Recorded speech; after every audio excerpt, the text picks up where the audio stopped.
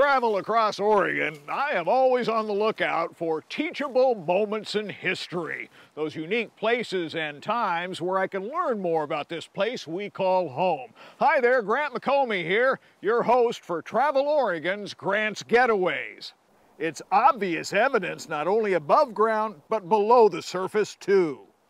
And this week, we get in touch with a real historic hotbed across a landscape that was a true hot zone of volcanic eruptions, magma flows, and birthplace of mountains. So come on along as we explore Central Oregon's lava lands in the heart of the Newberry Crater National Monument for a look back in time.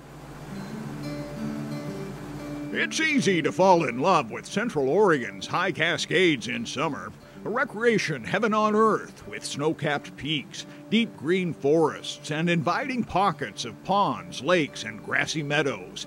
And yet, when you come down closer to ground at places like Lava Butte inside the Newberry National Monument near Bend, discover that so much beauty was built upon devastating natural disasters that date back 75,000 years.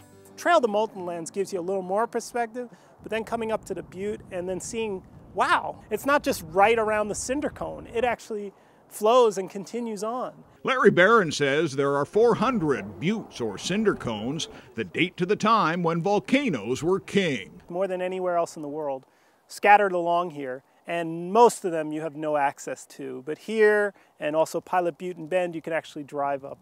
Lava either exploded into the air or oozed out of the ground for miles around. The one and a half mile long trail of molten land allows you a close up view. Knocked down every tree in sight, and wherever it went, nothing lived. So anything you see now is things that have come after the flow, 6,000 years of growth on the flow itself. There's not much growing on this lava field. It still looks pretty barren. The Lava Land Center is Volcano Central for folks who want to learn how Oregon was shaped so many years ago. This is so unique the high desert is not something you see every day. You got to look a little deeper, I think. To do that, travel the short trail down into the ground, into nearby Lava River Cave, where Barron's advises come prepared with light and dress for warmth. Let's do it.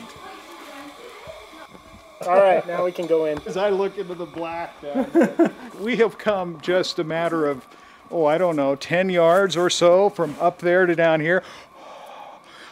You can see the breath the temperature has dropped at least 25, 30 degrees. Wouldn't you say, Larry? Yes, right. Lava River Cave's entrance is nicknamed the Collapsed Corridor because the cave's air mixes with the outside air, so to expand and contract the cave's walls and ceiling.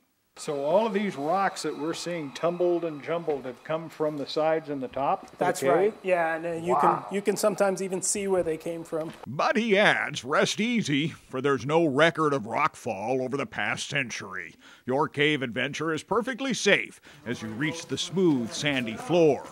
At more than one mile, Lava River Cave is Oregon's longest cave, so be sure to stop along the way and examine what at first glance looks like a sort of glazed donut effect. But what you see here, what looks like um, almost like candle wax, I guess, dripping on the side of a candle. Is it dripping off the wall there? It isn't, but it looks like when it is. Yeah, and people think it is. people think that the water is mixing with minerals and dripping. That's not happening. This is solid basalt. It hasn't changed in 75,000 years. The gases got trapped remelted the walls, and all the walls started dripping again after they hardened. And there's more. Contour lines extend up to the cave ceiling, some 60 feet high. So the highest point is where it started, and then as the magma chamber slowly emptied, the lava flows dropped in level. So you actually can see here's a level, here's a level, here's a level, and if you look at the lines, you're actually seeing all the different levels. It is an eerie experience, best enjoyed on a tour, which takes place each afternoon. And like all of the Lava Lands experience, teaches you much about a unique chapter in Oregon. The Lava River Cave closes at the end of October and then reopens in May. Why? Because that habitat is critical for the survival of varied bat species. So it's really important to give it a rest. A couple of things to keep in mind. Be sure that you dress appropriately wear some boots, and also remember you're in a refrigerator of sorts at 42 degrees, so be sure to bring some warm clothing. And finally, make sure you have plenty of light, not just a rental lantern, but perhaps a backup flashlight. Hey, you can find all the details and the directions on the Travel Oregon website. So until next week, get out here and explore Oregon, perhaps down in the deep where you've never been before, and let Travel Oregon be your guide.